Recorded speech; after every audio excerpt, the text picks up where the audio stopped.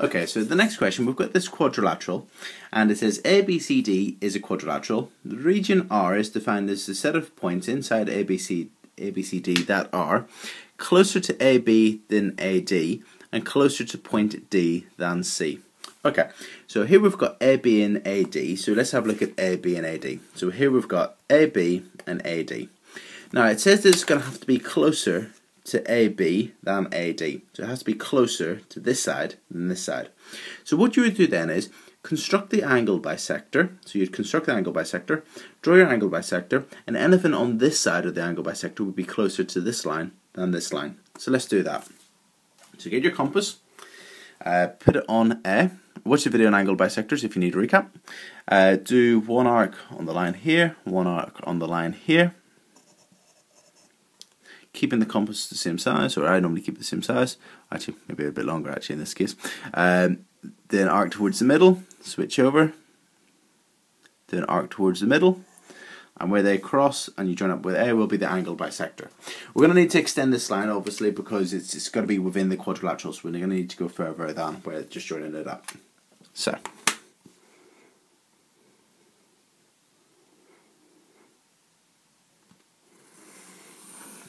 Fantastic. So, anywhere on the left-hand side of this line is closer to AB than AD. If it's on the line, it's equidistant. It's the same distance from both of these lines, okay? And if you wanted to be closer to this side than the side, which we don't, it would be this region that you would shade. Okay, let's carry on with the question. It says, it's closer to point D than to point C. Okay, so point D and point C. Okay, so it's going to be closer to point D than point C. So because we've got two fixed points, we're going to construct uh, the perpendicular bisector, so the straight line in the middle.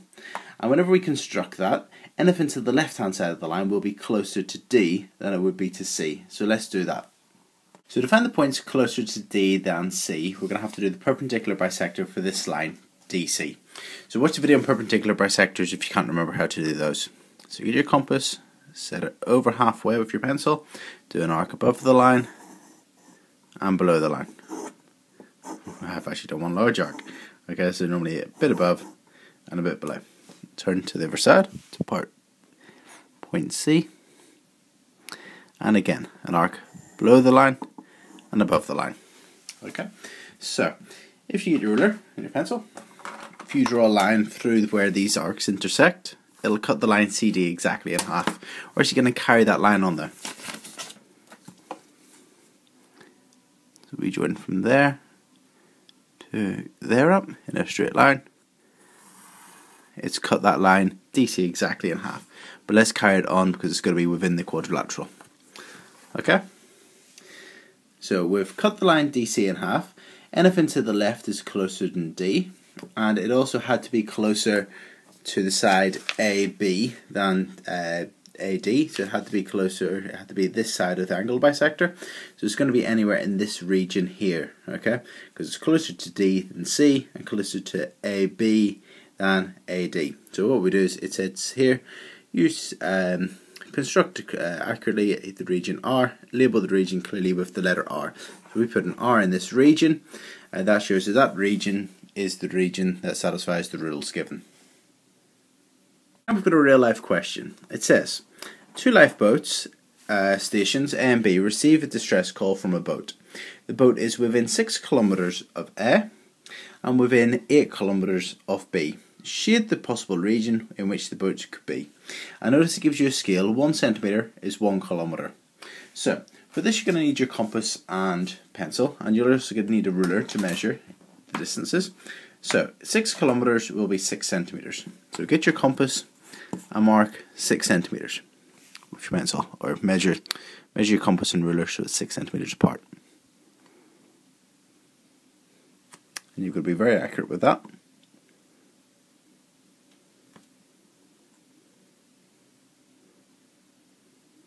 Okay, so we've got six centimeters, and it says the boat is within six centimeters from station A. So here the land part is darker and the white part here is the sea.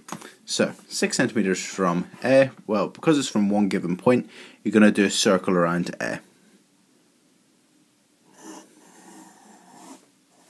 like so. So the boat could be anywhere in this region. Uh, I've got a feeling it's probably at sea, so it's going to be in the white region here, okay, it won't be on land. Okay, now it says that it's 8 kilometres from station B. So what we're going to do now is measure our uh, compass, so it's now 8 centimetres, because it's 8 kilometres from B.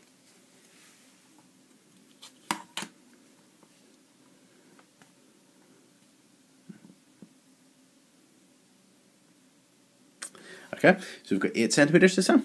We're going to put it on B, and we're going to draw another circle around B.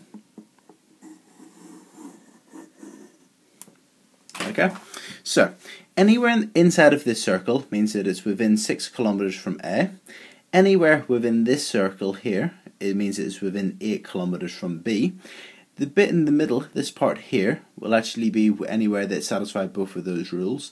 And given the boat's probably at sea, it means it's going to be in this part. It says shade the region, so let's shade here. The region in here.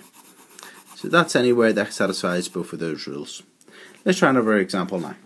Okay, this time it says show on the diagram all the points inside the triangle that are more than 5 centimeters from each vertex, each corner of the triangle.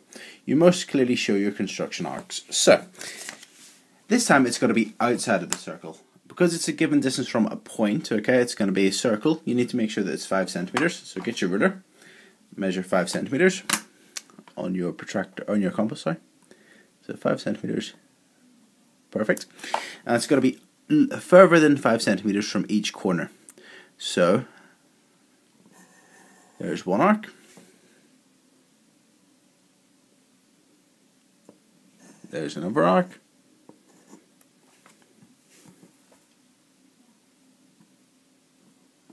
And there's a final arc. So anywhere within these arcs are, is closer than 5 centimeters, anything outside of the arcs is further than 5 centimeters. And because it says that it's uh, inside of this triangle, then this is in the region here, R.